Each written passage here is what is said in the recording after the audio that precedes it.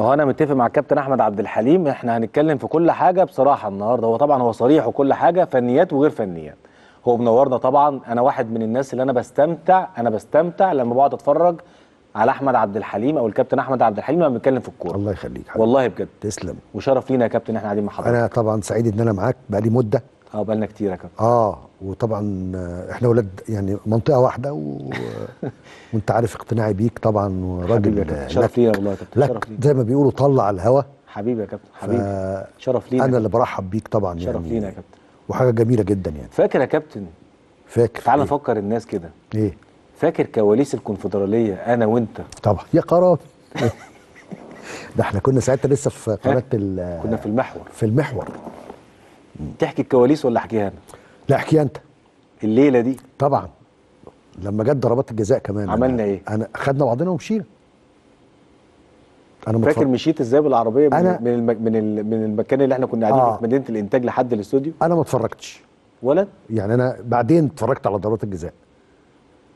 لو تفتكر إحنا آه، كنا آه. قاعدين في ال في ال في مكان كده اللي هو في التجمع اللي فيه الماتش بالظبط كده.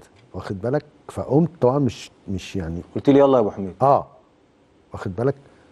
لأن طبعا برضو إحنا ما قدرناش. إحنا من كتر الانفعالات يا جماعة هو طبعا أنا هو قلبه وجعه و- والكابتن أحمد بقى يعني مش هيستحمل وقلنا نشغل راديو فكنا قاعدين في مكان هنا في مدينة الإنتاج الإعلامي. وبعدين إيه يعني خلاص أنت بتتكلم 100000 في استاد برج العرب استاد الجيش برج العرب. آه.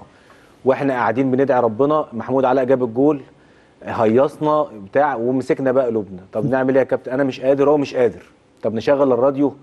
طب نبص. طب نعمل إيه؟ فمش قادرين مش مستحملين. فعايز أقول لكم يعني واحدة واحدة كده قلنا إيه؟ طب نكمل بقى ضربات الترجيح لحد ما نوصل إيه؟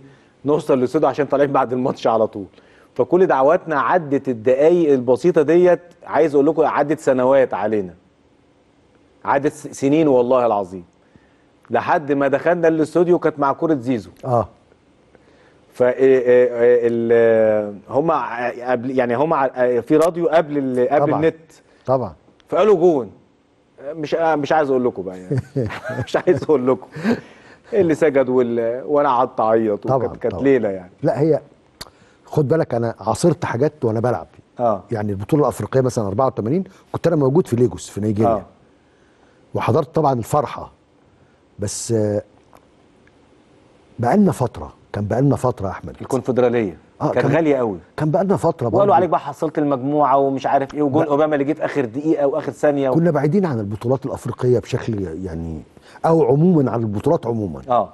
لا إحنا كنا وصلنا قبلها لو تفكر لو تفتكر كنا وصلنا النهائي صن بتاع داونز صن نهائي. آه. وكنا قريبين والله البطولة كنا. قريبين جدا آه بس كانت فرقة جامدة برضو. التعامل كان يوميها مع المباراة الخارجية. مؤمن سليمان ما كانش موفق. يعني بصراحة. طبعا مع آه. كل التقدير والاحترام ولكن في المباراة دي مع إنه هو مؤمن مدرب هايل. جدا. وعلى فكرة هو اكتشاف الإدارة برضو يعني ف... اكتشاف آه اكتشاف طبعا طبعا. يعني المستشار مرتضى يعني طبعاً. آه يعني اداله الثقة في وقت مهم جدا. طبعاً.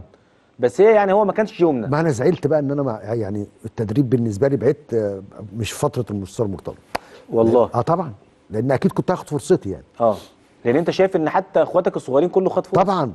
طبعا. وده شيء كان من أول العملية محجوزة لاثنين ثلاثة آه. يعني بكلمك جد. يعني محجوزة؟ طبعا.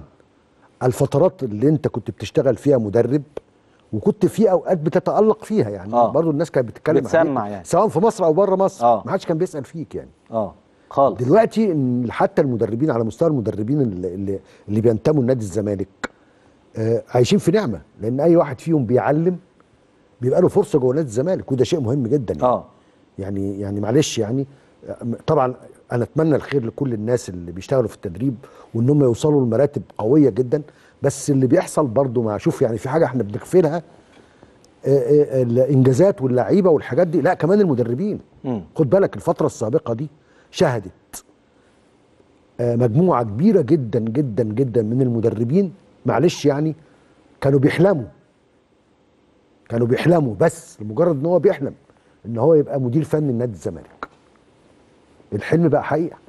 أنا بكلمك جد يعني آه. دي, أو إنه يخش الجهاز الفني. أنا على فكرة مش أنا منهم يعني أنا أنا مش منهم. أنا ما اشتغلتش في التدريب كمدير فني لنادي الزمالك في أي فترة من الفترات. آه كان نفسك في ده لكن طبعا كان عندك حلم. طبعا. بس إحنا أيام بقول لك ما كنا كويسين كان في ناس تانية دائما هم اللي بيبقوا موجودين. كان هم مش هم مش ثلاثة هم أربعة خمسة. يعني كانوا آه. دائما هم اللي هو اللي. ممكن تبقى الترشيحات عندهم هم. بالظبط. واخد بالك؟ والعملية كانت مقفولة تماما. آه ما كانش بيجي ذكر مثلا كابتن أحمد ما لا ما بقول لك انت ما, ما عشان كده كنت أغلب الفترات كنت ببقى بره. آه بس كان بتصعب عليك نفسك. طبعا. ما انت برضو في أوقات ده ناديك وبعدين حاسس أنت بتحقق نجاحات.